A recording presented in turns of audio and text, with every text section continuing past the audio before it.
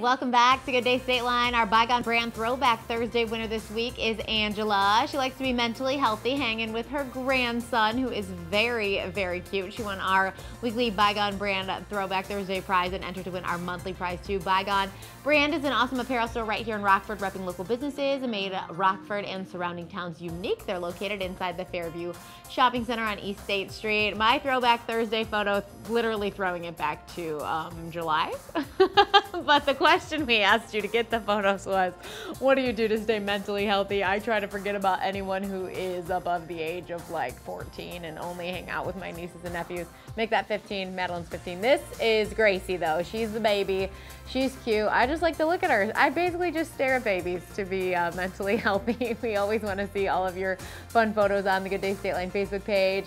Your Throwback Thursday theme for next week is pumpkin photos. So whether you were dressed up like a pumpkin, you were just hanging out with a pumpkin at your house or a pumpkin farm, send us those photos for your chance to win from a Bygone brand and maybe we'll show off your picture here next week on the show. While you're there, don't forget to answer our Fan of the Week question. We'll find out this week's winner tomorrow night at the beginning of the show coming up. Tomorrow, Mental Health Awareness Week comes to a close with details about this year's Youth Mental Health Forum, plus why buying sustainable clothes for your kids is so important. And we're making banana chips on Air Friday too. One more thing before we go tonight. Do you like candy with your cold brew? What about cold brew candy? M&M's is ready for you. Not only did they launch a new character this month, Purple, but they're also getting ready to put her on a bag. Caramel cold brew M&Ms are joining the permanent M&M lineup.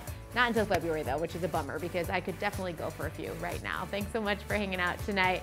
We'll talk to you tomorrow. Bye-bye.